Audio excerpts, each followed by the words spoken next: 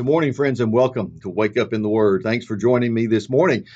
We are in Genesis chapter number 43. Come, let's look at this disjointed, disgruntled, messed up family, the family of Jacob, as we pick up again with the story of Joseph. Mm-mm. We left them yesterday after the boys had returned, minus Simeon, with all the grain in their sacks, plus the surprise silver that came along with it and Jacob is upset. What do you mean I've got to send Benjamin down there with you? Oh, no, there's no way I'm letting this, my youngest, my son of Rachel, the only remembrance I've got of Rachel, go down to Egypt with you. No, you got, well, I know you guys. You've been in trouble all this time. You'll not bring him back either. Jacob is adamant. So they sit back and begin to, you know, use the grain they've brought back, but uh, there's not peace in this household. There's an empty chair where Simeon used to sit. What about the rest of Simeon's family? How do they feel about this idea of Jacob that he's not willing to go rescue uh, their head of household from Egypt? It's it's just a a disturbed feeling around this household. Everybody's walking on eggshells, afraid of what to say, afraid of bringing up the subject. Swindoll puts it this way. He said, Guilt plagued these sons of Jacob. It weighed heavily on their shoulders and whispered in their ears. On more than a few occasions, they had relived what they had done to their younger brother Joseph over 20 years earlier, and all the recent events to and from Egypt had pricked their conscience. They remembered, but still they had not yet fully repented of their evil ways. but they would. Oh, yes, they would. So we pick up in Genesis chapter 43 where it says, Now the famine was still severe in the land. So when they had eaten all the grain they had brought from Egypt, their father said to them, Go back and buy us a little more food. Now all of a sudden, the hunger pangs are getting to Jacob. He said, You know, the famine is not lifted here, the no crops in the field. Go get us something to eat, guys. But of course, Judah said to him, Now the man warned us solemnly. The man, who is the man? Man is Joseph. They just don't know it yet. Remember, he said, You will not see my face again unless your brother is with you. If you'll send our brother along with us, we will go down and buy food for you. But if you will not send him, we will not go down. Because the man said to us, You will not see my face again unless your brother is with you. So Israel asked, Well, why did you bring this trouble on me by telling the man you had another brother? Really? This is what you're going to say, Jacob, at this point? Uh, you know, just throw blame back. Why, why'd you even tell him that I had another brother in the first place? He's heard the story. He knows the story. Yet he has to bring this up. You know, the accusation is there. You know, you you're against me. You know, you're trying to just something's not right here. And so once again, in in in his elder years, Jacob, now known as Israel, remember his name has been changed, can do nothing more than just accuse his own boys. In verse 7, they replied, The man questioned us closely about ourselves and our families. Your father still living? He asked us, Do you have another brother? We simply answered his questions. How were we to know what he would say? That he would say, Bring your brother down here. So then Judah steps in. Remember, it's Reuben that's already said, Hey, I'll take responsibility for Benjamin. I'll make sure he gets back. Even to say something as awful as, well, look, kill my sons if I don't bring him back. Yeah, come on. I mean, uh, perhaps that was hyperbole, but by the same token, Reuben has already stepped in and tried to take responsibility. Now it's Judah who does the same. Judah said to Israel, his father, Send the boy along with me, and we will go at once, so that we and you and our children may live and not die. I myself will guarantee his safety you can hold me personally responsible for him. If I don't bring him back to you and set him here before you, I'll bear the blame before you all of my life. As it is, if we had not delayed, we could have gone and returned twice. So now he's throwing this back in Jacob's lap, saying, Listen, we have already brought more food back if you'd just let us go down there with Benjamin. Think about this, Dad. You're going to starve us to death? Verse 11 then their father Israel said to them, All right, if it must be. I mean, they've ganged up on him. There's no way out of this. He said, If it must be, then do this.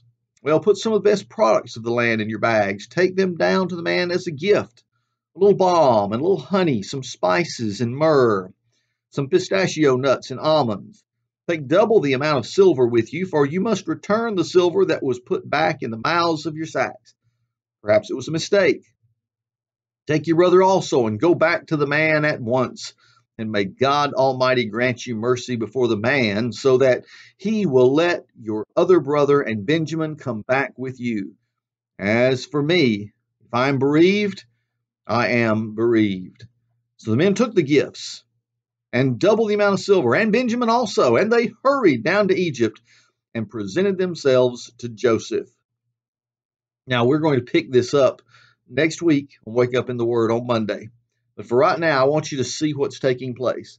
God is using difficult circumstances to drive this family to the place where He wants them to be, anyhow. It's going to be a place, first of all, of repentance, where they will get to receive the forgiveness that's been there waiting for them all along if they had just been able to see it, to get out of the guilt of their sin, to get back into a position where God will bless them, take care of them, and multiply them as a family and ultimately as a nation.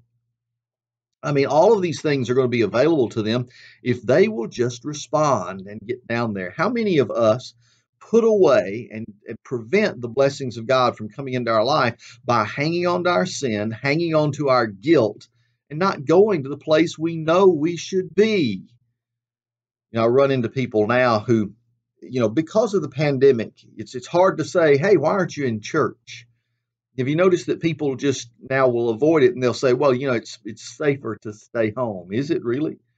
And uh, you know, with all the different ways we can worship you know, I, I, we put everything out just like you're watching us over over videos, whether you're watching on YouTube or Rumble or some other platform. And as you're watching these videos, even to try to grow spiritually, there are, there are options out there for us. Yet I run into people who I will find have spent most of their week outside of the times they did have to work, if they're working at all, saying, well, you know, I've been playing so many games on my computer, or I play games on my phone, or I've watched uh, every every movie that Netflix is putting out, and all these kind of things. I'm like, really?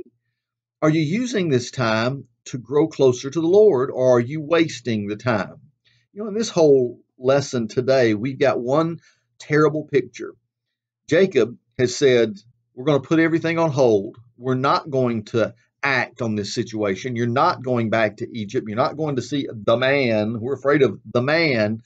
Listen, friends, the man that you need to get in touch with, the Lord Jesus Christ, is readily available to you, and He does not want to punish you. He does not want to beat you up. He wants to bless you. Go see the man. It's time that if you put some uh, put some real effort and some of the hours that you're doing other things into your spiritual life, you will find that He will grow you up and make you stronger, both spiritually and in ways that He might open ideas from your heart and your mind that might bless you in other ways as well.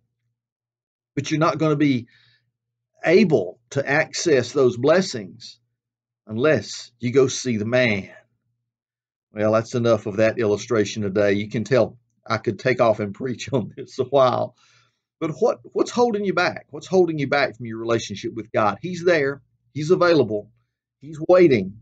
Spend time with him. Go see the man and he'll make everything at least plain in your sight. He'll bring bring things into perspective and he'll allow you to make it through just as this family is going to make it through the most difficult time they'd ever face a period of seven years of famine that's putting people into bad situation all around the world they're going to make it through, but only because they go to see Joseph.